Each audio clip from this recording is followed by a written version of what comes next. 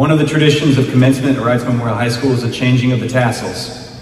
The tassel, which has been worn on the right side, will be changed to the left and over the heart, signifying a bond of loyalty between school and graduate.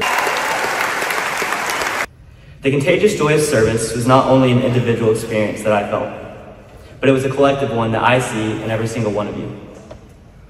Moving forward, we will be involved in new organizations and meet new friends, but that radiant joy is going to remain.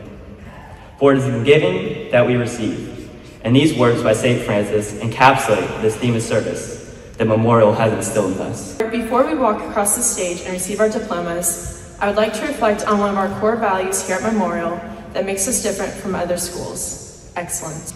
Whether in the classroom, on the field, on the stage, or elsewhere, we have witnessed ourselves and our classmates achieve extraordinary things through God's goodness and determination. I'm honored to be able to speak to you today about the last core value, family.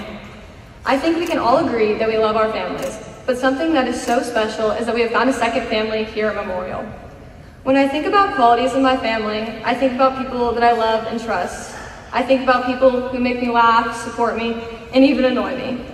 I have found all of these qualities in this MHS family, giving me more people to love, trust, and laugh with. By the power vested in me by the Diocese of Evansville and the Indiana Department of Education, I proclaim you graduates of Reitz Memorial High School with all the rights, privileges, and responsibilities that come with being such. For the rest of your life, love your school, honor your school, and never forget, you did not go to any school. You went to Memorial.